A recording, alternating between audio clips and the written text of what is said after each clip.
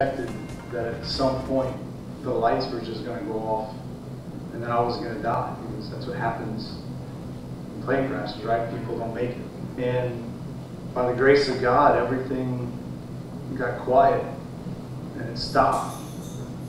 And when it stopped, there was a moment of, I'm, alive, man. I'm alive. A story of survival and how life changed in less than a minute. Tonight, for the first time, we're hearing from the lone survivor of December's plane crash in Lafayette. Wade Berzas was one of six people on that plane that day headed to Georgia to see LSU play in the Peach Bowl when the plane went down shortly after takeoff from Lafayette Regional Airport. He spent the next 52 days at Our Lady of Lourdes recovering, and as, and as our Chris Welty reports in our top story, he says his faith helped him get through it. After the plane crash, Wade Berzas says he turned to his oil field training to get out of the plane. I remember the first words out of my mouth were not today. Not today. He pointed his thumb towards the exit.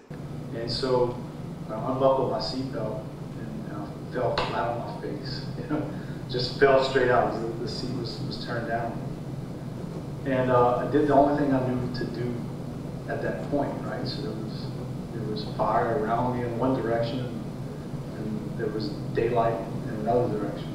Berzas says he focused on his family and walked to the daylight. He said the field was extremely muddy, and with each step, he kept falling to his knees. Shortly after, he remembers two people helping him get to safety and being able to see the devastation. This is really bad.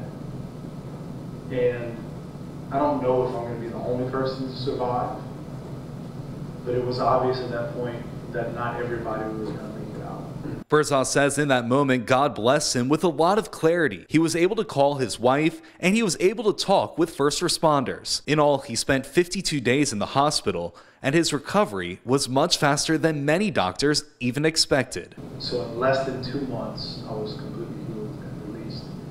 And it's one of those things that can only happen by the grace of God. Since his release, Berzas says there are still challenges, and he's had to learn to trust God even more.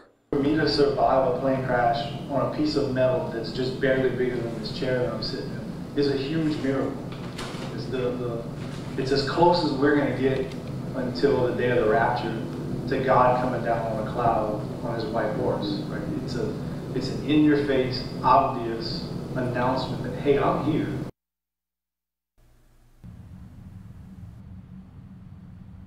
Our Chris Welty reporting. Well, tonight the NTSB investigation into that plane crash continues. The full investigation could continue until the end of the year. From the wreckage, the NTSB was able to determine the plane was intact when it hit the ground. There was no distress call. The engines and some instrument panels are in Washington, D.C. for analysis. One of the victims in that crash was sports reporter Carly McCord. Her husband is suing the plane's owners and the estate of pilot Ian Biggs, who was killed in the crash. The suit claims the owners and operators were negligent and posed an unreasonable risk to passengers. In state news, House